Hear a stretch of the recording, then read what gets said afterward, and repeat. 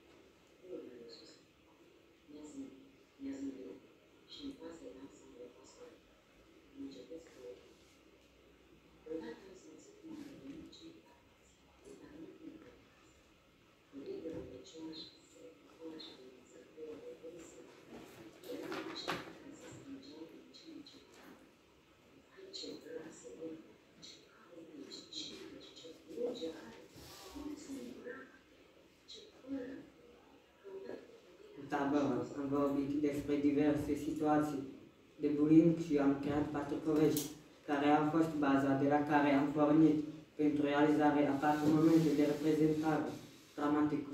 Bullyingul verbal, fizic, social și cyberbullying-ul.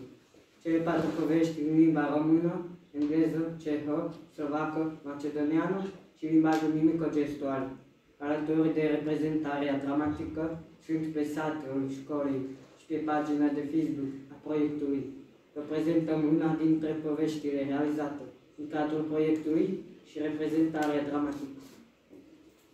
Când am făcut aceste materiale, am lucrat împreună, ne-am imaginat diverse situații de bullying și am discutat despre impactul acestora. Am scris poveștile, le-am tradus și am regizat reprezentarea dramatică. Am registrat video flashmob-urile, dramele și traducerea în limbaj mimico-gestual. am prelucrat filmele video în Movie Maker și Filmora. Apoi le-am încărcat pe YouTube, pe pagina proiectului și pe film. Materialele realizate în cadrul proiectului de sabă azi sunt de folos, în primul rând, tuturor partenerilor români, străini, auditori sau deficienți de auzit. Pot fi utilizat în orele de consiliere, ca material sport, dar și în alte activități extrașcolare, punct de plecare pentru discuții, dezbatere sau teatru forum. Se adresează tuturor, elevii și profesori, copii și părinți, români și străini, persoane auzitoare sau deficiente de auzit. Ne propunem să creăm noi povești și noi reprezentări dramatice pe care să le integrăm într-un ghid de bune practici, material suport pentru profesori și elevi. Să ne implicăm în noi proiecte care să ne încurajeze pe noi copii să ne formăm abilități de conștientizare și autocontrol și să învățăm empatia față de ceilalți. Vă mulțumim!